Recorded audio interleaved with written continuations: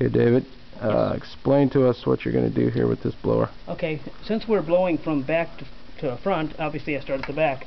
And my first pass, I like to go behind the chairs here with the blower on high speed. We have two two settings, high and low, on the uh, blower. And I'll put the nozzle facing down behind the chairs, and I'll move all, all along down to the end of this row.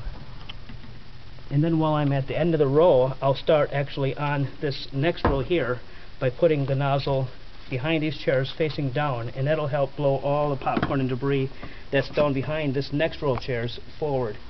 And usually the airflow is strong enough that it will blow most of this area of the floor here clear. But uh, just keep an eye on it because you may need to do a, a second pass just to make sure all the popcorn and debris is off.